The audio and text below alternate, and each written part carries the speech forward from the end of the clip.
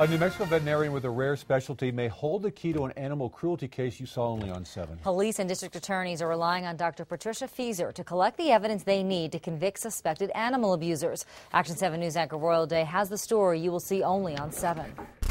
This, this one's an interesting one. Monday afternoon, Dr. Patricia Feeser does a routine exam at her clinic in Rio Rancho.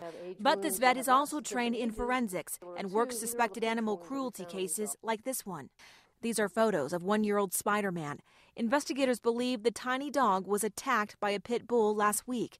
The skin on Spider Man's back was ripped off, and he had deep wounds on his body. The worst of his injuries were the hidden injuries where his muscles were torn and had been lacerated by teeth. They, his, his muscles were crushed. Spider Man had to be euthanized, and now Dr. Feeser will study the evidence and samples she collected from the scene. Dr. Feeser is only one of a handful of veterinarians in the country who practices forensics and the only one who works for a law enforcement agency.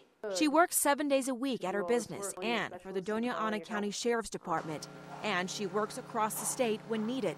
She investigated this massive dog hoarding case in Animas. Some animals were allegedly found starving, and feces were found in a child's bed. Dr. Feeser says the job is hard but necessary. You will pretty much always find animal cruelty associated with domestic violence, with illegal drugs, illegal, illegal firearms.